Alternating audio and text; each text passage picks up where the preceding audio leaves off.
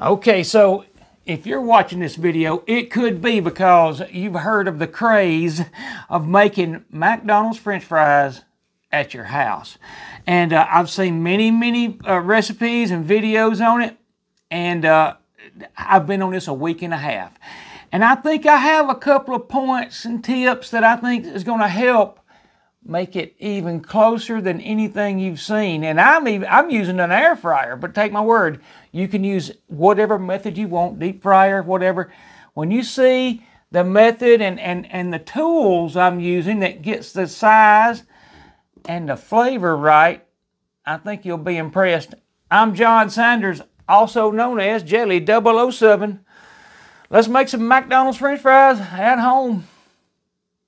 Okay, so if you kind of followed the, the, the McDonald's french fry copycat recipes, you'll know that uh, not long ago they kind of released everything and you can even look on their website and you'll see their ingredients which include a beef flavoring.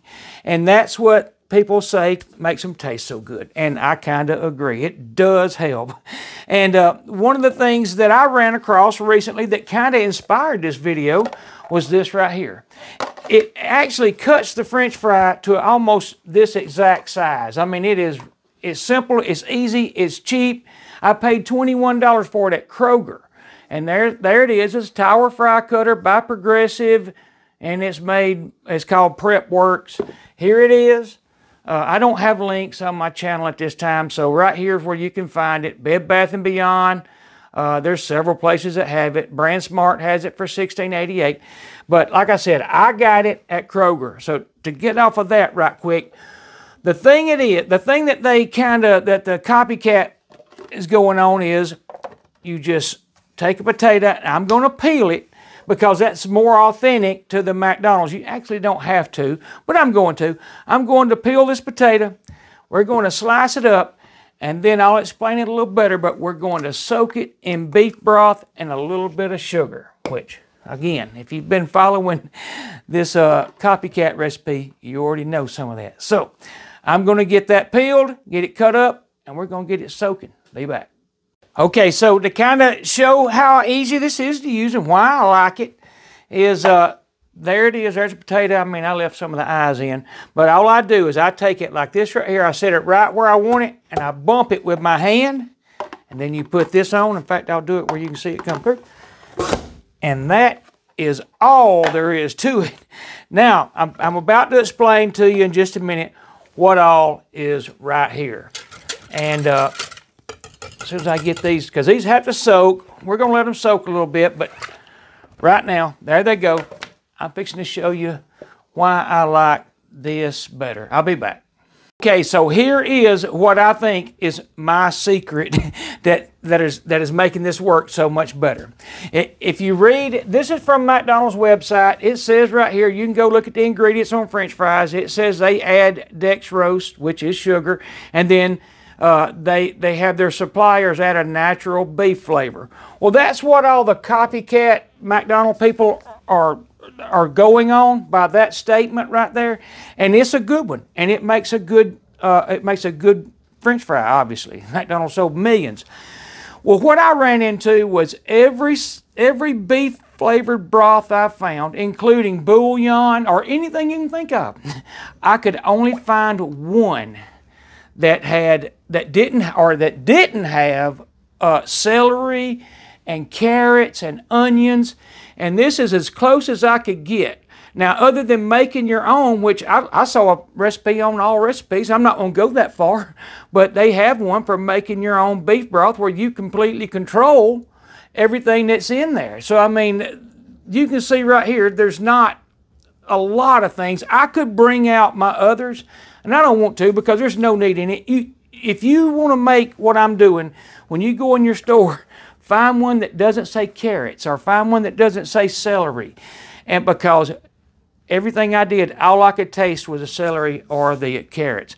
Now, I'm using sugar. A lot of people were using, uh, say, uh, a corn syrup. And I don't want to put their name in there either, but the same one I've used all my life has a vanilla flavoring. So I didn't use corn syrup, I use sugar. And I think I have, honestly, I think I've got as close as, without making your own broth, I think this might be as close as you're going to get. Like I said, whether you're air frying, uh, deep frying, or oven frying. But anyhow, these like another uh, 22 minutes, and I'll be back, and we're going to preheat this to 400 degrees and get these started. Okay, so right quick, I listened back on my video, and I realized I didn't say I put about a half a container of this, just enough to cover the fries. You don't want to waste it. all you got to do is cover them, and one tablespoon of sugar. And that's what I used right here. Stirred it up, got it to melt real good, and then dumped those fries in. But now you know. Okay, so I'm down to about a little less than two minutes. And what I'm going to do is bring these out. Now I have kind of moved them around uh, uh, along the way and kind of try and knock some of that starch off of them. That's why people soak them. And uh, I'm going to lay them out right here and dry them off. And uh, give this a few more minutes to preheat. Uh, you can see it's, it's already preheated according, it said add food in other words but I had I had it set for 10 minutes at 400 degrees. So I'm going to do this right here, flatten them out, just to let you know, and then I'm going to dry them real well like that. So that's what I'm going to be doing.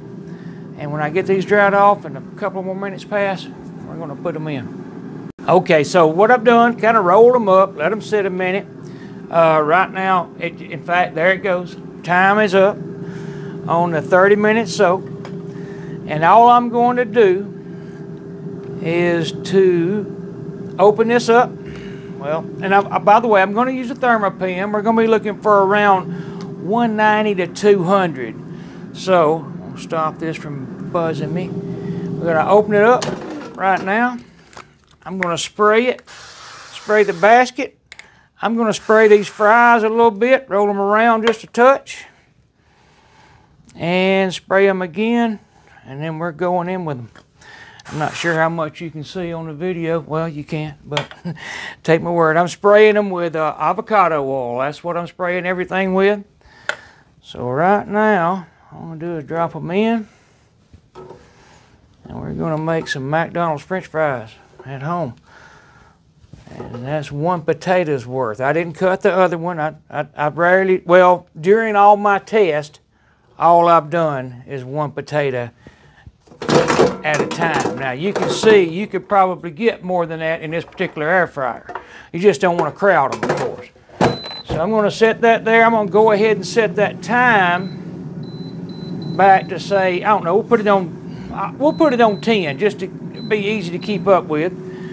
I don't think it'll take more than 10. It doesn't normally take but about 9, but we're going to watch. With the Thermapen. Be back.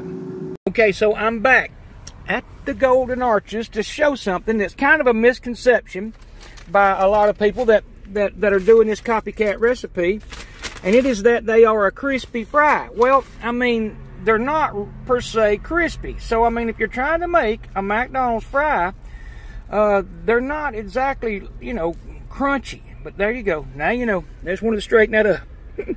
okay, so around the four or five minute, just going to shake them around a little bit. You can see they're nowhere near ready.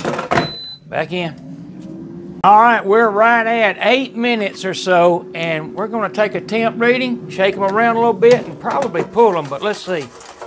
Well, they look pretty good. You can see they got some brown on them. Let's see what the temps are. That one right there looks like a good one to test. Uh, you have to kind of get all the way to the middle. It's a little tricky. 197, well, 204. So that one is definitely done. We'll check this one. You know what? Let's get one out on the side just for the fun of it. Uh, it is, uh, well, I went all the way through. It's, it's trickier than it looks. I'll just take this one. 203, 204. These french fries are done. And uh, we're about to put them right here while they're still hot. But you can see them right there. I'm going to take this to kind of hold that basket in. And we're going to put them right here. There they are. Now, the most important part, a little bit of salt. I'm going to put a lid on them and shake them up. And open them back up where they can breathe. and we are done with McDonald's French fries. And I'm telling you, there may be a slight bit of difference. Now, these are from lunch. this is eight, nine hours ago. They may, there may be a little bit of a difference in the look, but uh, not enough to worry about. Take my word, they taste really similar. And we're going to let them cool just a minute. And I'm going to put them on a plate and uh, just see how they are. I'll be back. Okay, so there is my version of a McDonald's French fry, and uh, now you got to keep in mind these are, you can see these are from lunch. They're dried out a little bit, but they're they're not off bad. It, it's it, and the flavor is really close, and uh, I think you'll find the same thing if you try it.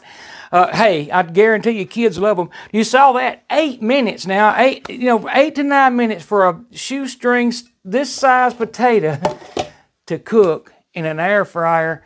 Uh, no oil to mess with. I'm, I'm, telling you, everybody that, and I used to be the same way. Everything had to be oil fried.